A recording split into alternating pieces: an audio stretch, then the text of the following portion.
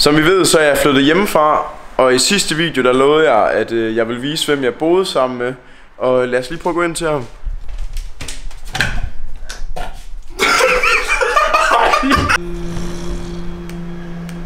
Hvad skal vi lave i dag, Mathias?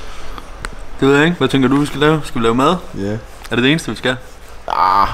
Hvad skal vi have at spise i dag så, Mathias? Vi kan lige så godt begynde at tænke på Jeg det. synes, vi skal have noget thai-mad fra vores øh, opskriftbog. Måske en chicken cashew. Vi skal lige tjekke, hvornår folk de lukker, eller hvornår de lukker.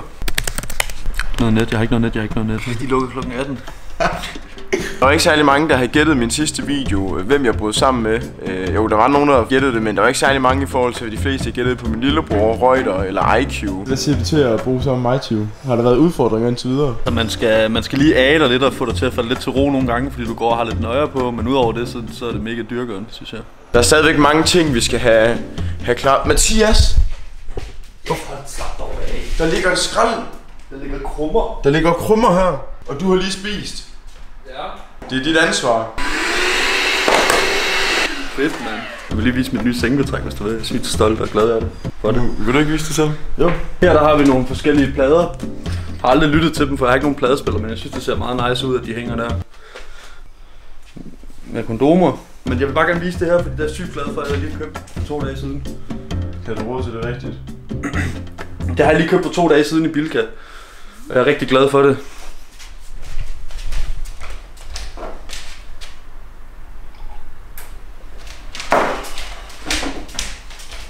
Hvor skal du hen? Jeg skal ind til dig nu.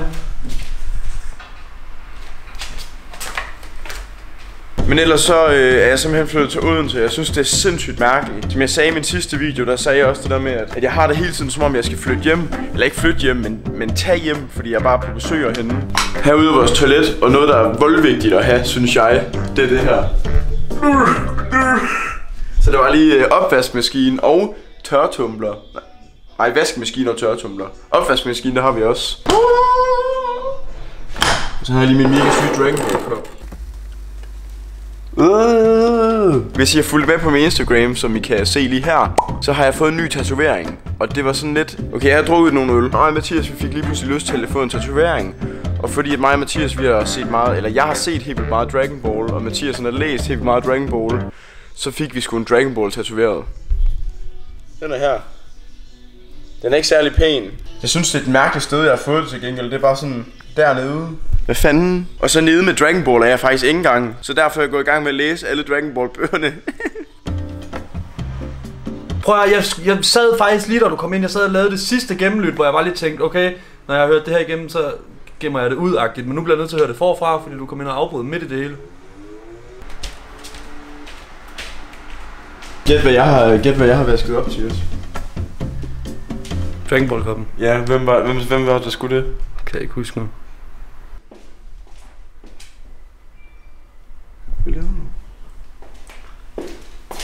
Du skal ikke komme og skrue ind for, Tim. Jeg har, lige, jeg har lige vasket gulv. Det er jo derfor, du listede. Jeg har lige vasket gulv i dag, og det er blevet mega... Ah. Det er i hvert fald blevet... Hvad fanden?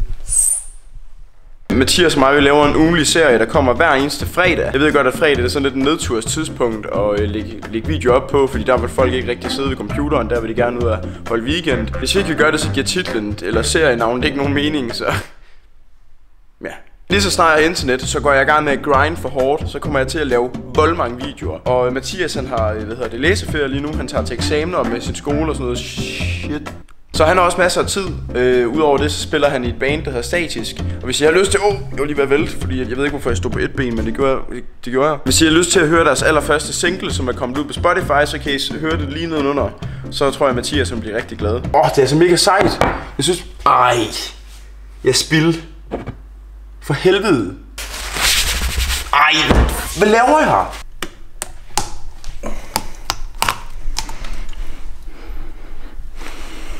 Det er det frøderne nu. Nej. Mathias og mig, vi, lige har, vi har lige været nede på sådan et thai-marked. Vi har simpelthen købt ind til, at vi kunne lave nogle retter, som vi lavede på øh, Thailand-turen, dengang vi var afsted. Og den første, vi skal lave, det er sådan en mega nice ret, men det var de alle sammen. Gaipat med momangang. Hedder den det? Ja. Gaipat med momang. Du kan lige se os selv sidde nede i Thailand igen med varme på Ja. og En lille chang. Men hvad skal, vi ske, hvad skal der ske nu, Syv? Vi skal vel lave mad? Skal vi lade med nu? Det bliver fandme oily, det her. Så finder vi ud af, hvor stærkt de er. Nej, hvad fanden? Og sygt stærk. Åh, oh, det er stærkt. Åh, oh, det var bare instant. Det har jeg ikke prøvet før på den måde. Tror, det er lige lovligt. Det ved jeg ikke, jeg har ikke smagt dem. Åh. Oh. Var det så stærkt? Ja, det var. Prøv lige, prøv lige hurtigt. Åh oh, ja. Ja. Det er fucking st-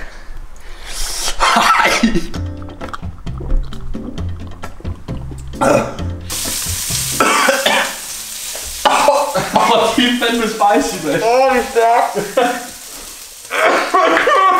Åh, du sviger i næsen. What the fuck? Åh, oh, det er syret. Åh, oh, det er sindssygt. What the fuck? Har du overhovedet tæt blæseren her? Nej, kun dig. Jo, bror. Åh.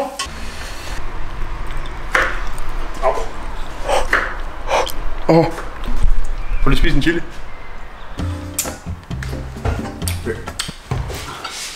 Er det stærkt? Hvad? Ej, sig det! Du tør ikke smage det nu. Det er voldstærkt. Er det voldstærkt? Åh. Oh. Åh. Oh. Ja. Nej, det smager godt. Kæft, det er approved. Men det er fandme stærkt. Ej, det er ondt.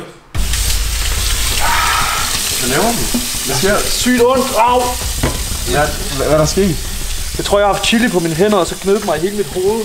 Så gør det bare sygt ondt. Åh. Det, jeg synes slet ikke, det er stærkt ind i munden, men ud over hele hovedet er det...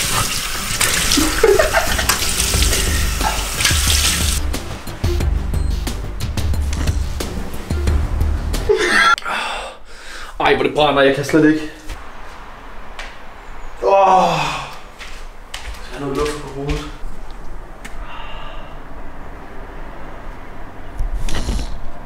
Ej, der er, der er slet ikke noget blæst. Du kan ikke puste mig i hovedet, sådan bare helt vildt. Oh.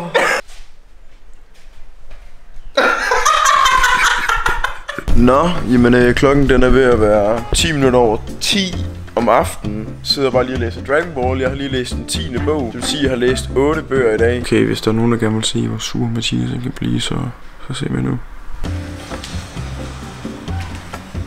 Nej, det du fucking ikke.